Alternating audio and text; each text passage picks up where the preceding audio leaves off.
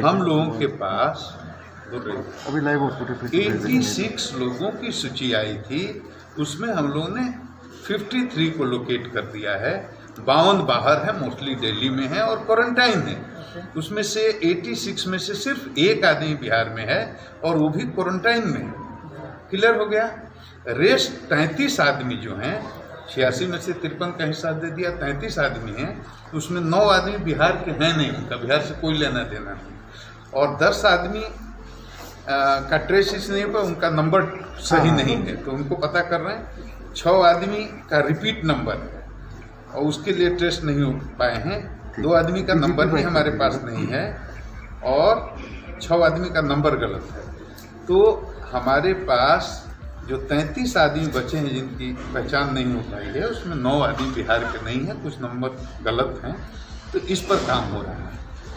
इतना हो गया। अब संतावन जो फॉरेनर की बात कर रहे हैं, जो सूची थी, उसमें से पैंतीस हम लोग ने लोकेट कर लिया है। उसमें दस ही बिहार में हैं, एक नौ अररिया में क्वारंटाइन है, एक समस्तीपुर में, उनका सैंपल भी ले लिया गया है टेस्ट के लिए रिज़ल्ट अभी नहीं आया है।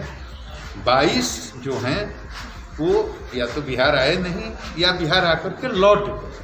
तो वो ट्रेस नहीं हो पाए हैं, उनका हम लोग पता कर ये क्लियर हो गया।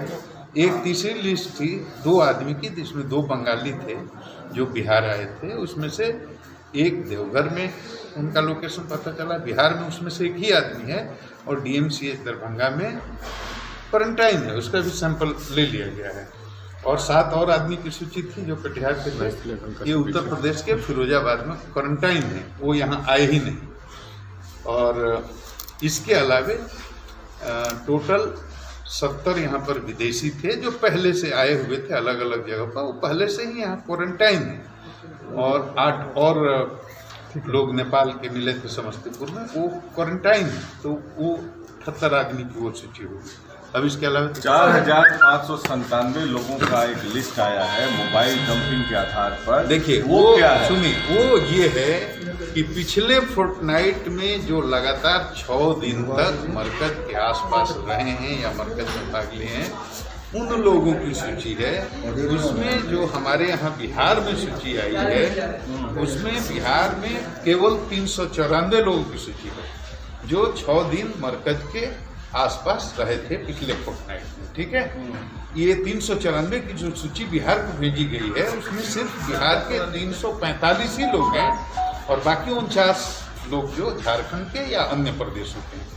तो ये तीन सौ चौरानवे को हम लोग चिन्हित कर रहे हैं कि कौन है क्योंकि केवल नंबर है नाम की सूची नहीं है। डाटा डंप एनालिसिस में तो नंबर आता है तो केवल नंबर है। इस नंबर से हम उनकी तलाश कर लेंगे उनको क्वारंटाइन करेंगे बाकी जो सेट ड्रिल होगा। और ये चार हज़ार पाँच सौ वाला नंबर क्या है? नहीं हम लोग वो पूरे देश का सर सर अलग अलग प्रदेशों को भेजा गया। होगा हमारे यहाँ जो सूची आई है वो सिर्फ़ तीन सौ चौरानवे की है उसमें तीन सौ पैंतालीस ही बिहार के हैं बाकी सर कुछ जगह हेल्थ वर्कर्स जो जा रहे हैं लोगों को क्वारंटाइन करने उनके खिलाफ वायलेंस हो रहा है देखिए इस इस समाचार को बहुत ही बढ़ा चढ़ा करके मीडिया ने प्रसारित किया है मैं हाथ जोड़ करके मीडिया के साथियों से ये अपील करना चाहूँगा कि बहुत धीरज से बहुत संयम से काम लेने लेने का समय है ये संकट का समय है बिहार में सारे मंदिर बंद हो गए, सारी मस्जिदें बंद हो गई, मस्जिदों में नमाजें बंद हो गई, चर्च बंद हो गया, गुरुद्वारा बंद हो गया, पुलिस ने कहीं एक लाठी पटका क्या? सबने स्वेच्छा से मंदिर, मस्जिद, चर्च, गुरुद्वारे बंद कर दिए। तो बिहार के लोग तो पूरा सहयोग कर रहे हैं।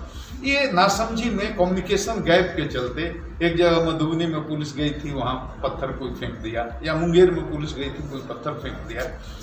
इसको इस तरह से प्रोजेक्ट मत कीजिए कि कोई कम्युनिटी पुलिस का विरोध कर रही है। ऐसा बिल्कुल बिहार में नहीं होता।